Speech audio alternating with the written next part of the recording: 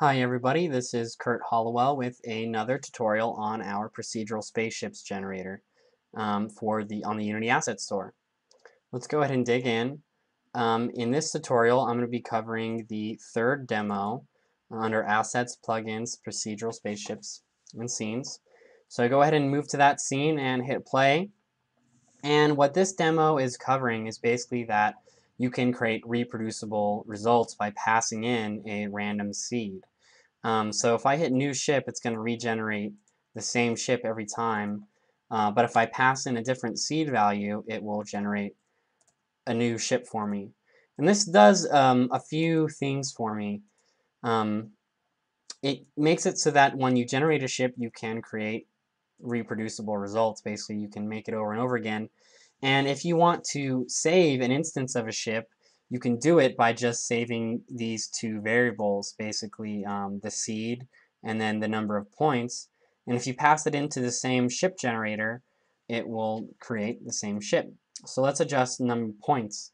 We've gone over this in our other tutorials, but that basically dictates the number of points around the perimeter. So if you make this variable small, then you get more simplistic looking ships. Let's see a few of those. Or if you make this number larger, you get some more interesting looking ships. Um, and let's show you how to do this from the code. If you go into the ship generator script, there's public methods called generate ship. And if you don't pass anything into generate ship, basically it will call this other one and just pass in a random seed between 0 and 10,000. Um, if you do pass in a random seed, then it will um, basically generate the same ship over and over again based on whatever the seed you, you pass in is.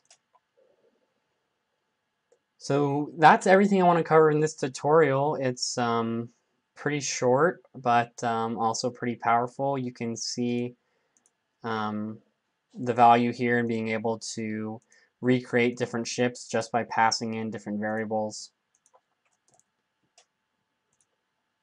And number of points. As always, you can check us out on our website, which is dogeatdoggames.com if you want support or just see what other tools or games that we're working on.